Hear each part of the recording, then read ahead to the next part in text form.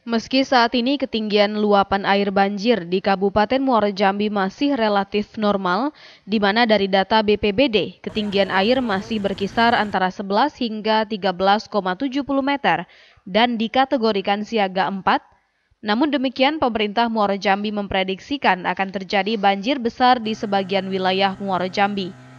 Jika banjir kiriman dari hulu ditambah dengan luapan air pasang laut dari perairan Tanjung Jabung yang bermuara di Muara Jambi.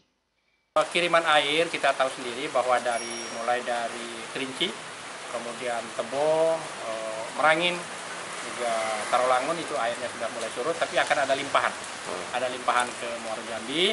Nah yang kita khawatirkan waktu limpahan itu datang, air pasang yang dari Tanjung Jabung pasang, nah ini yang kita khawatirkan.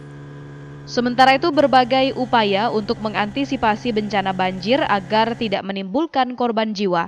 BPBD serta pihak terkait telah menetapkan tempat dan jalur evakuasi. Selain itu dirinya juga meminta kepada seluruh warga, terlebih yang bermukim di tepian Sungai Batanghari, untuk terus waspada. Arman Mandaloni, Jambi TV